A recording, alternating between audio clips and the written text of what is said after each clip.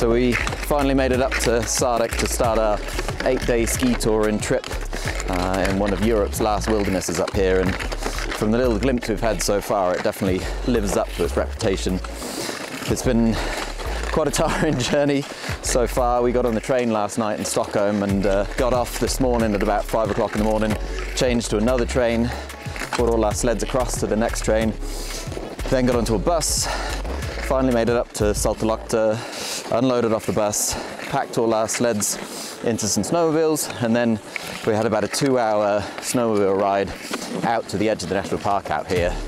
And uh, if anybody's ever taken a snowmobile ride before, you'll know it's very, very cold. So everybody was looking forward to getting on our skis, getting moving. Uh, we've got a shorter ski ahead of us today. Uh, we're going to make camp, have an earlier evening, I reckon, and then tomorrow we'll have a bit more time to make a bit more distance as we continue. Um, we're all pulling sleds behind, as you can see. Here's the team out front. Can't really see them that well, but there's seven of us in total. Uh, it's quite overcast today. Right now we're hoping for some clearer weather and we'll be able to see some of these stunning valleys around here. Um, so yeah, see how it goes.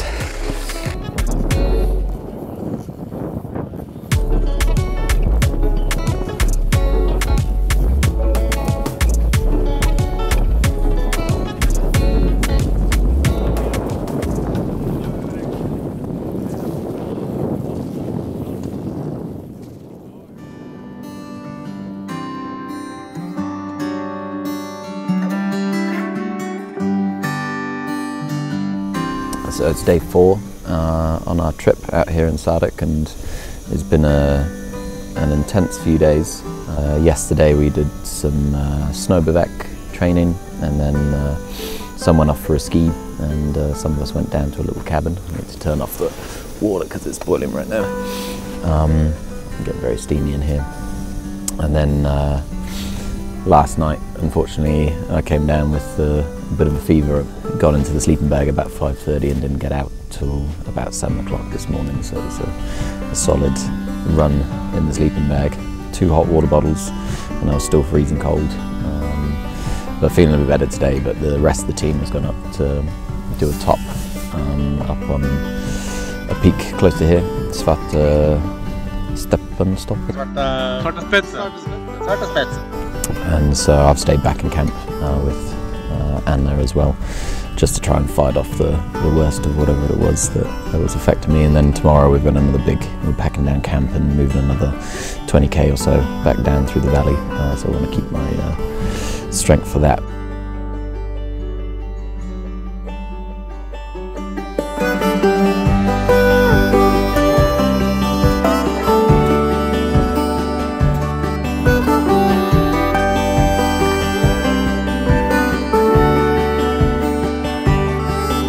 Day five, up in Sarek, and we're headed back towards Saltoluokta. We had a base camp um, a little bit further up behind us for a few days. Today we've got about 18 kilometers skiing uh, ahead of us. Up to our right, we're just skiing past Birkebakta, which is like the madman's mountain. Uh, it's like 1,780 meters tall or so. Um, but it comes straight up out of the lake and is quite impressive. It's been really, really sunny for the whole day today. Um, when we woke up, it was super cold, still, and really, really sunny. We've got a little bit more cloud cover now. It's a much easier ski for the rest of the day. It's uh, much flatter along the lake, which we're coming onto now, and then down through um, kind of a river system before we kind of get to camp this evening. Uh, and then we set up camp and we've still got a few more few more days ahead of us.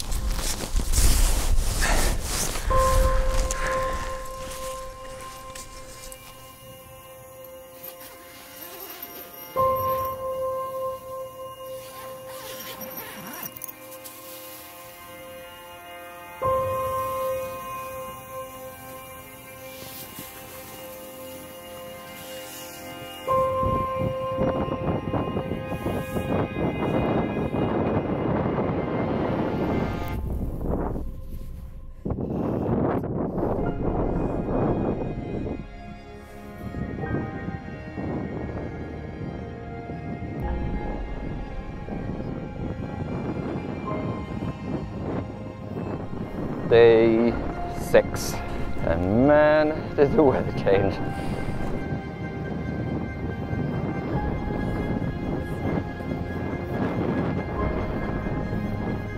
As we came into camp, it was just howling winds and dumping snow.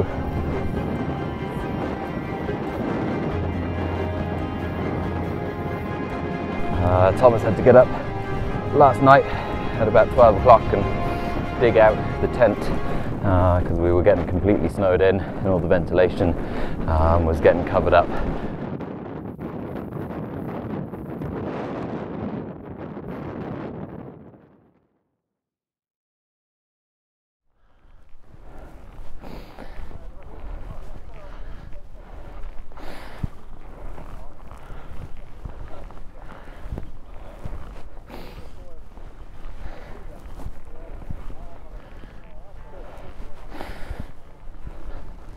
morning we're out making our way towards Saltoluokta and we've got about 12 and a half kilometers to cover today.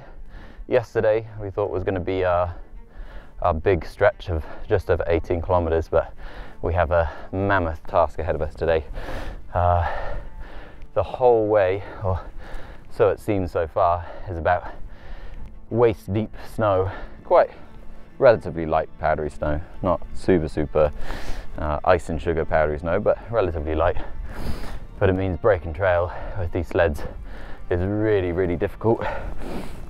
You can uh, just about push your way through it. We're having to take take turns on on breaking trail. Some person up front, somebody up front with uh, no sled breaking, and then the rest of us with our sleds pulling behind, and then taking it in turns to pull two sleds along the track, but I think we're covering about 500, maybe 750 meters per hour. And we've got uh, 12 and a half K today, but we're not gonna make it to our planned camp spot, which means long days the next couple of days. We're really hoping that at some point we're gonna come across either less snow, more wind pack snow, or some sort of snowmobile track. That would be ideal.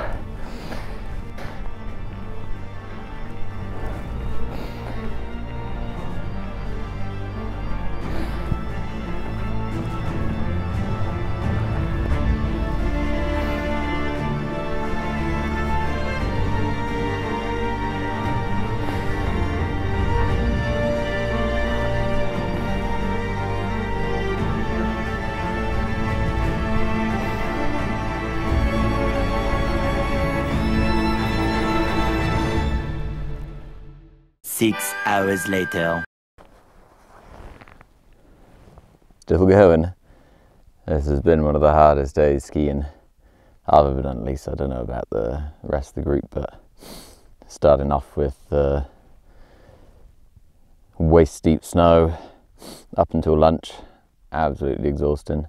And then after lunch, it started to we, get a little bit less snow, so it was about knee deep snow then after lunch, uh, and then we've just been slogging away and we've hit the moraines of Slugga, the mountain that's just up ahead of us here, like uh, where the glaciers pushed all the rocks down and where they've all kind of settled. So it's just like slowly getting uh, altitude, but it's just bumps after bump after bump after bump. So you go up and down and up and down and around and around, and it's a maze of trying to find your way through it. And we're gonna just keep pushing. We're about well, we're meant to be in camp right now, uh, and we're about 4k back from where we're meant to be. We're very, very much behind today, and we have been for the whole day. It's uh, we should be skiing like two to three kilometers per hour, but we're making like maybe 500 meters to one kilometer per hour at best. It's just been so slow going, and breaking trail up front is almost impossible. We've gone from seven sleds down to six now. We've packed one of the sleds into uh, the rest of our sleds, which makes them a lot heavier, but it means one person can be out front and uh, and break trail. But yeah, it's it's tiring. I'm exhausted. I was up front breaking trail uh, with my sled for for a good while, and uh, I'm really, really feeling it in my legs right now. I don't normally feel uh, this tired in my legs, but yeah, we're getting there. We'll see. We'll see what time we get into camp. I don't know. I'm uh, exhausted. oh, I need some snacks. I need some water. Good morning, Thomas.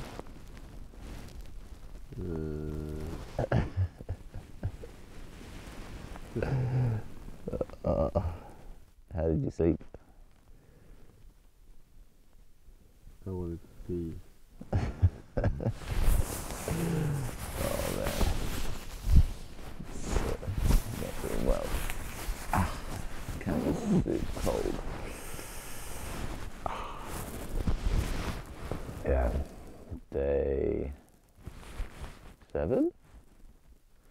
Day seven. Day seven. Day seven.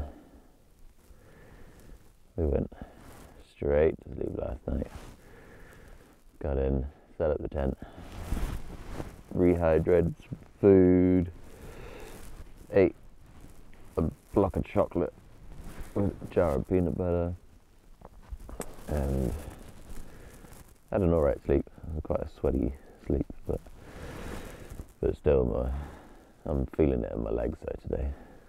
Are you? Yeah. Yeah.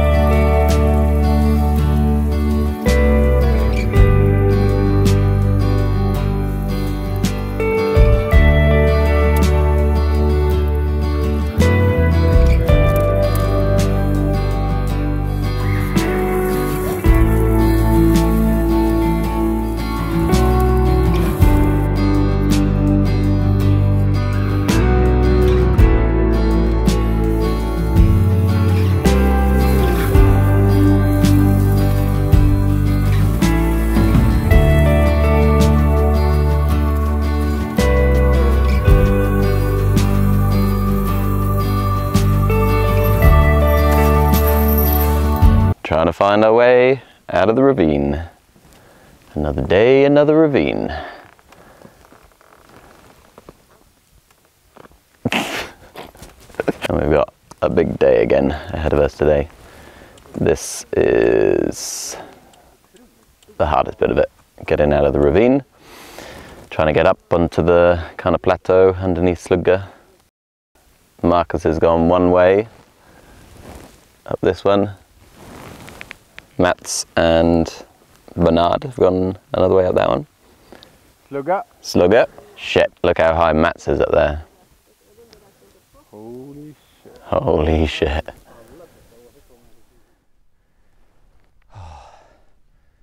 And so we climb up out of the ravine, up onto the flat. Soon.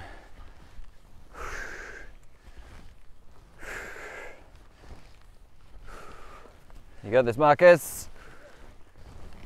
Trying to traverse with Pulka. This is no good. Good work. Right, Gilbert. My, my suggestion is we take uh, a we did a drop group take Good work. That was steep, steep going up.